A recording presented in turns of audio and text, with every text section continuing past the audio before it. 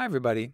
We've now learned how both to create database tables and how to insert information into those tables. In this video, we're going to look at a design principle called first normal form, or 1NF.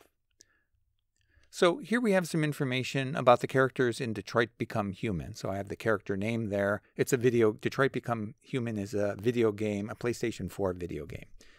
So here I have the character name Kara. The voice actor was Valorie Curry. The hometown of Valorie Curry was Orange County, California, and Valorie Curry was born on February 12, 1986, and so on. And as you can imagine, there's many different ways of encoding this information into a database table. One way is we could just have one a database table of one column called info. So here I've created a table with just info, and all the information is just stashed in that one column. So this is just one huge long text string. Maybe not that huge or long, but it's a long string. and you know the information is in one column. We might think, well, maybe there's a better way we could, you know, divide it up some well, somehow semantically that this first little bit seems to be the character name. The second bit here, Valorie Curry, is the voice actor. This is the hometown, and so on. So we might have columns for that sort of information. So here's where I've done that. So we have this character information, actor, hometown, and when they were born. Or we might think, well, wait, Valorie Curry, you know, that's a first name and a last name. So maybe we should kind of divide that information up. Maybe that would be better. And this hometown has a hometown and then the state associated with it. So maybe that would be good to divide up as well. So that might be an option too. So we could design something along like this, where we have a character, the first name, the last name, the hometown, the home state, and when they were born. Well, we could keep going like this and think, well, born, hmm, there's like a year, a month, and a date. Maybe we should divide those up into separate columns. So something along these lines. Or maybe we think, hmm, you know, maybe this should be in multiple database tables and not just one. So we might have information like this. So here we have an actor table and we have a character table. And see, we have character Karas played by actor ID 1 and actor ID 1 is Valorie Curry, and so we have all this information about the actor up in this table. So what we're trying to do is determine, well, what is the best option? You know, which which of these four or five things we've just presented is is a, the best one? I think we can probably all agree that this is not the way to go to put all the information just in one column. But what is a good way?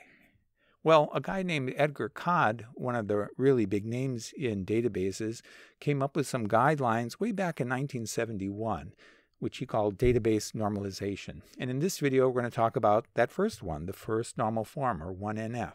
So it's basically a design principle for databases and database tables.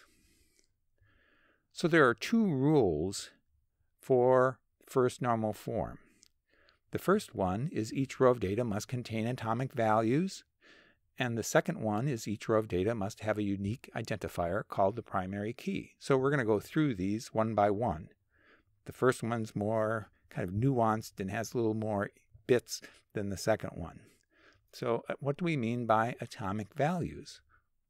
Well, there's a couple things here. One is that data in a column should not be able to be broken down further into parts and I in parentheses there I stuck for your current purposes. So this is sort of a wishy-washy rule. So where we always can append, well, it depends on you know what you're trying to do, what what what you're going to be using this database for. So let's go back to that Detroit Become Human. I'm going to just back up a bit. So that is, can we break it down further into parts? That's sort of our rule. Can the data in a column be broken down further into parts?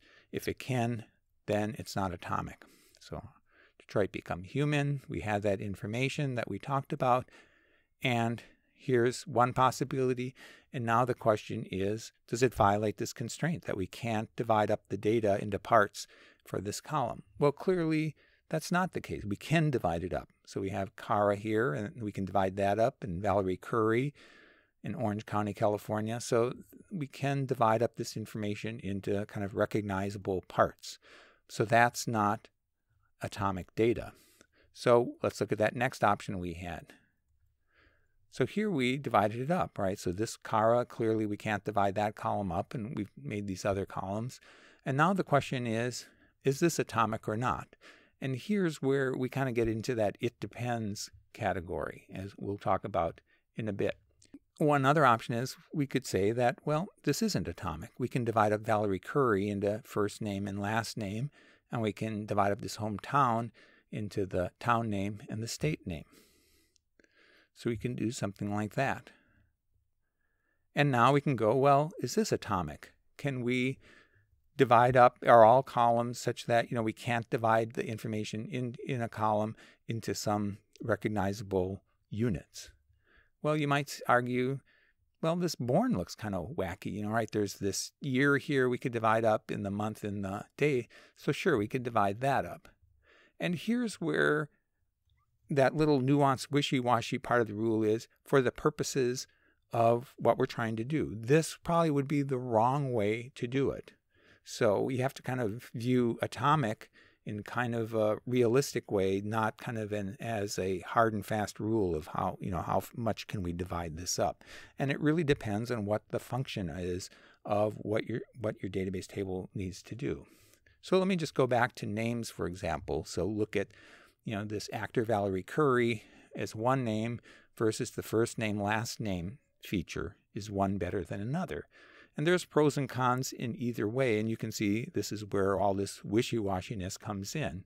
So if it was this way, the first name, last name, one pro is you can personalize communication. You can say, Dear Ms. Curry, or Dear Brian, or Dear Jesse, or whatever. And this might be required for whatever, if we're working somewhere, it might be required for the field. Like if it, we're working designing medical databases, maybe we need this first name, last name, or government databases. And it's probably the safer choice because we can always go back, maybe, and, and combine them. But one problem is, is that, and might be in favor of just doing it this way with everything combined, is that maybe first names and last names aren't sufficient. So consider Samuel L. Jackson. That L is sort of important as part of his name, but we lose that information or have to kind of stick it in here somehow if we had this first name, last name this, this version, it would be very simple to put in. A title like MD, PhD, Junior, or Valorie Curry III, again, it'd be trivial to put that information in here. It'd be more of a head scratcher to figure out, well, how are we going to represent that information here? Maybe we'd, for some reason, need to have a title and some prefix title versus a postfix title. And in many cultures, this first name, last name distinction is meaningless and we might have to go th- with things like surname or given name. Some Latin American names have two last names, one from each parent. So you can see that, you know, as we, you know, this first name, last name isn't the the absolute best because we can divide up. Let me just go back again. This actor into parts. There's pros and cons either way.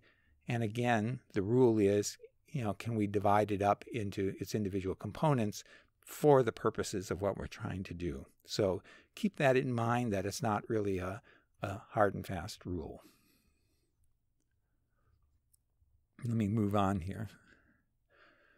The second one is hard and fast and more easy to understand than this wishy washy one I just gave you.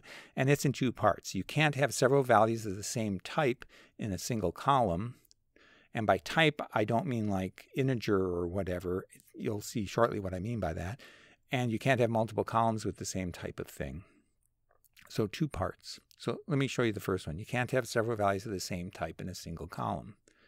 And let's look at this example where I'm trying to encode information. I have software developers in several offices, and I'm trying to represent what programming languages they're fluent in. So Ann Mulkern works out of the Detroit, Michigan office and knows Python and JavaScript. Ben Rhodes knows Go and Java, and so on. So here's one version of my developer database table.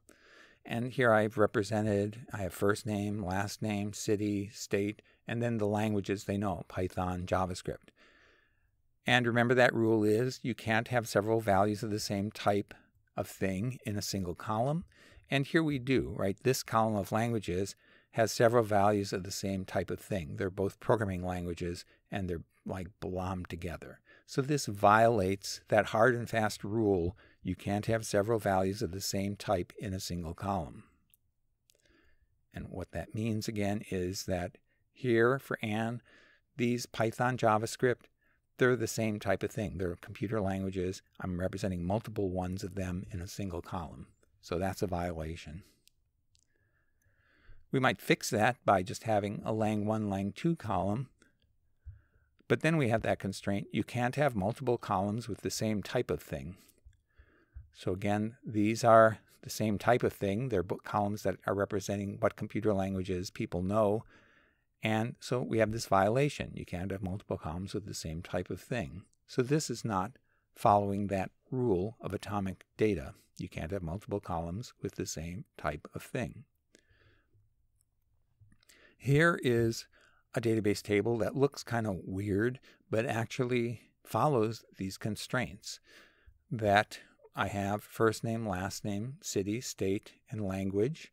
So all this remains the same. So Ann here knows two languages, but they're representing in two, represented in two different rows.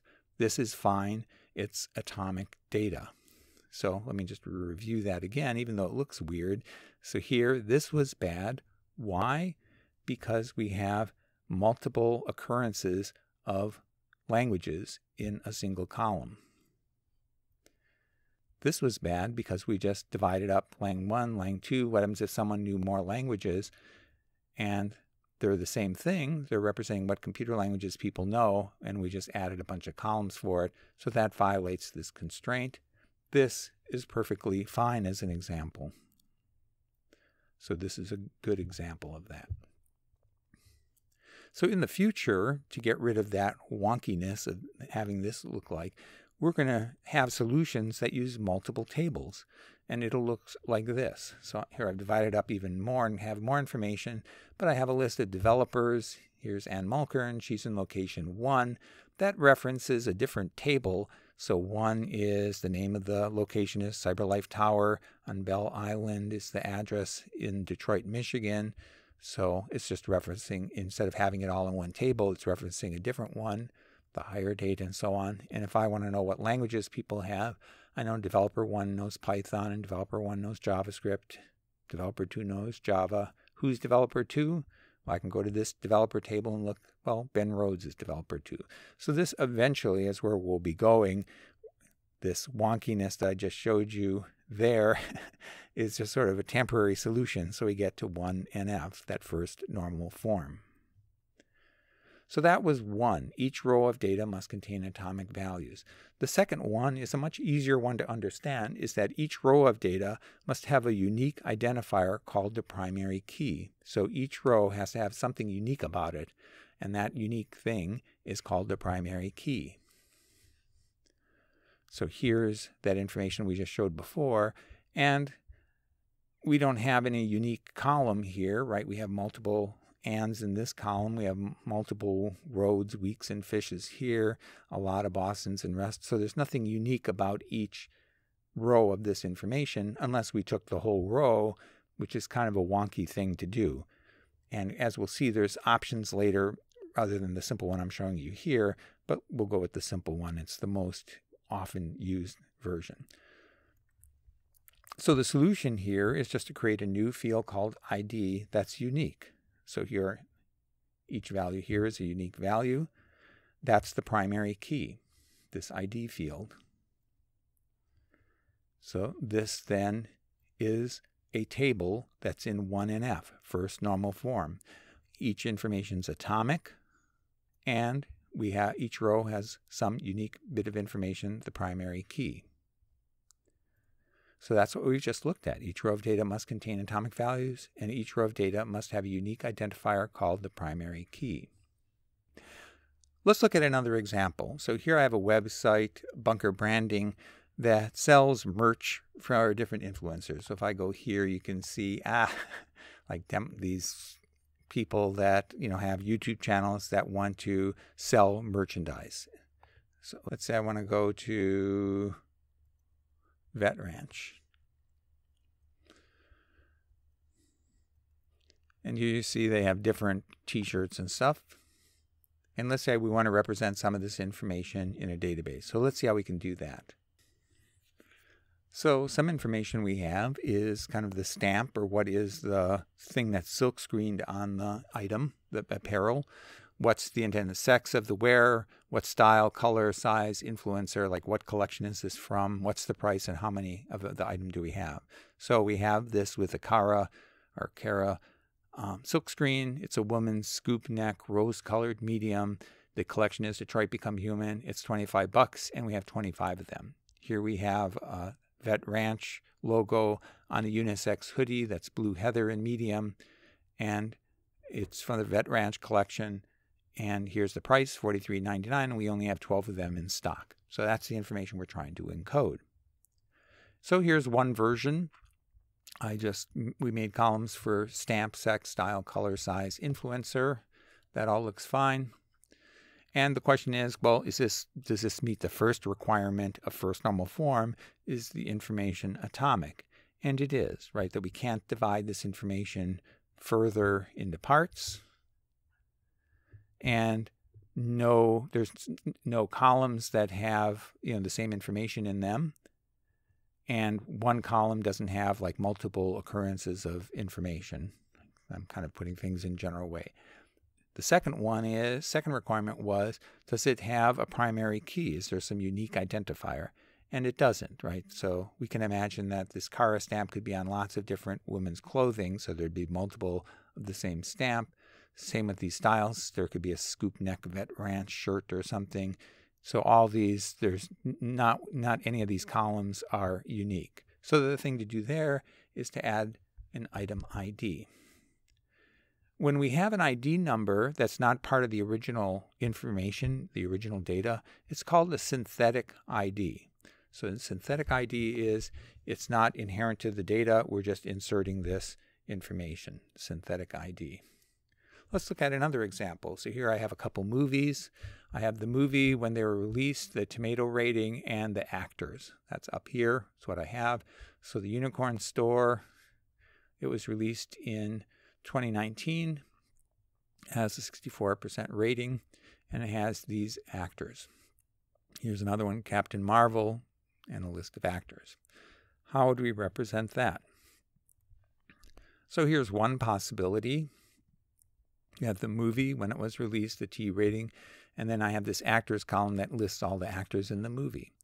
Well, this violates that constraint that you can't have multiple types of things in the same column. So we have multiple actors in this one column. So that's not a good design. It violates that atomic constraint. So let's look at another possibility. Here, what I've done is I have I've divided that up. So I have the role, like what what role was that person playing? So Brie Larson plays Kit in this movie, and Samuel L. Jackson plays the salesman, and so on. This also violates the atomic constraint, right? That we have actor one here, actor two, so we have multiple columns that have the same type of thing in them, namely the actors in the movie. So this is a bad design. It violates that atomic constraint. So now we're getting better, right? So we've divided this up. We have the movies repeated a bunch of times, but now we only have a role and then the actor's first and last name. Here you see that problem we had with if we're representing first and last name, we kind of lose the L in Samuel L. Jackson. That's a story for another time. But this looks good. So it's in a, it's in a, the form it is atomic, but we're violating. There's nothing. There's no unique identifier for each row, right? This unicorn Captain Marvels. There's nothing unique in there. Nothing unique there. So we have no column that's unique. So the solution is, as you can think, is to create a synthetic key, namely synthetic meaning it wasn't part of the original data, that makes each entry unique. And we do that like this. So let's see how we can do this in Postgres. This is very simple. There are two ways of creating a primary key in Postgres and in uh, for any SQL database, in fact. One is just to create, let's say this ID number, which is correctly so, is the primary key. We can just insert the words primary key up for that ID number. ID serial primary key. The other option, and I'll do that one down here, let's say that ID is also a primary key. We can just add it down here. So both of these are perfectly fine. So either you can just, when you're defining a statement to begin with, you can say add the words primary key to it, or after you've identified all the columns, you can specify which column is the primary key by doing this. Let me save that information. Okay, so let's see how this works. We go into PSQL. Okay, and now let me load that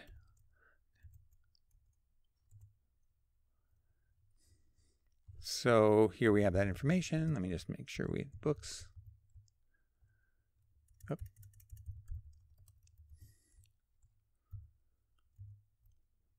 That looks good. And now if we describe that books, we see what the primary key is. It's ID down there. And if we describe patrons, it's the same thing, primary key, B tree, ID. Okay, now let's work through a final example of that, um, the information about the Detroit Become Human characters. So here I've um, shown the, the information we want to encode, the Kara, Valorie Curry, Orange hometown, and date. So let's just go ahead and do that. So let's say we're going to create a database.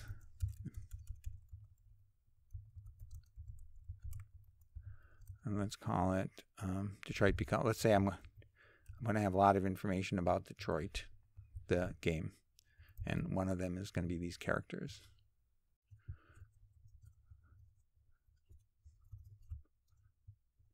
Okay, so let's see if we can do this. So here I'll pause, and I would suggest you pause the, the video and see if you can create this table, and we'll come back and compare notes. Okay, so let's continue here. So uh, first thing I'm going to do is create an ID number. It's going to be of type serial, and that's going to be my primary key. That looks good. And then I'm going to create the name of the character, the type text. Let's, we could say that's not null. The uh, voice actor, I'll just go with the full name of the actor, but you might have first name and last name.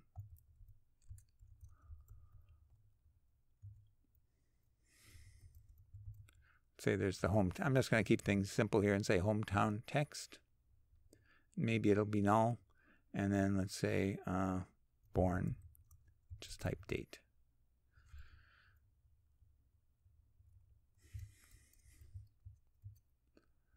Okay, so let's just take a look at this. So we have that primary key, which is the ID number. That's the serial. So it's a synthetic key.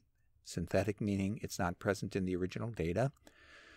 We have a name of the character, which can't be null, right? It doesn't make sense really to add information into our database if we don't even know the name of the character. Same thing with the actor. Maybe there'd be occurrences where we wouldn't want it null, but in my case, I said not null and the hometown and date, maybe we just couldn't find any information about them. So let's just insert some information.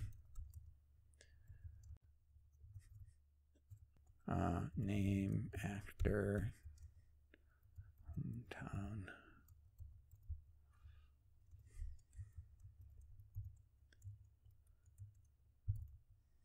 Well, let me do the cheat.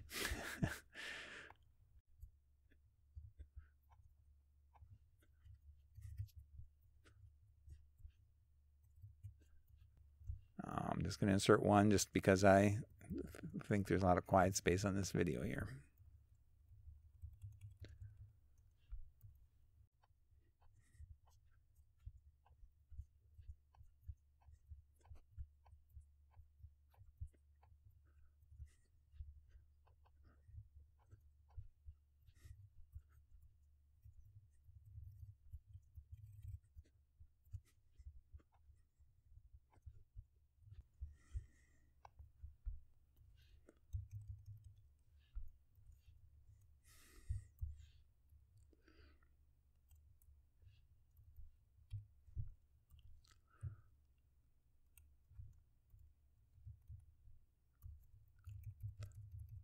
Okay, so here I've inserted some of the entries. I've created this table. Let's just see if this works. So let me go here.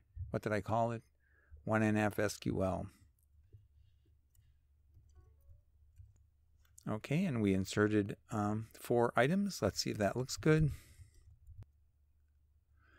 It looks great. And let's describe that table. So we have the primary key is an ID. We see that ID, you know, we have the where we're creating a serial. It's it's a serial thing that we're inserting. So it looks all great. And it's in first normal form. Again, first normal form is this information is atomic. Someone might say, wait a second, that actor can be divided up into first name and last name. And we're thinking, well, for our purposes, we don't think we need first name and last name, or for our purposes, we don't need Orange County in California. So the thing, one thing we might think of is, well, how are we going to use this? Are we going to search for particular things? If we're searching a lot for states, we're interested in all the people from California or Utah. It might make sense to um, have that to be a separate column because then we can index that column and make searches go much faster. Or if we're searching on last names, same thing. So if we're there might be purposes where we'd want to divide stuff up and other purposes that, you know, it doesn't make a difference. So for dates the born, it would make zero difference to uh, have that represented in any other way. It's the dates the correct way to do it. The thing I should mention also, since I did talk about searching, is that when you create something to be a primary key, it's create it's uh, turned into a B tree, so it's indexed, meaning that searches on that key are very fast. So searching on ID 4, we can find that much faster than searching for you know, particular hometown or something. Later, we'll see how we can index other columns. But for now, that's it. I think you, I'm hoping that you got some understanding of what first normal form is, what makes it first normal form, how to create tables in first normal form, it's I'm hoping it's not that difficult, and I think you'll be pretty expert at it. And uh, all your tables will be fine in first normal form. So thanks very much for listening and watching. Uh, take care. See you next time. Bye.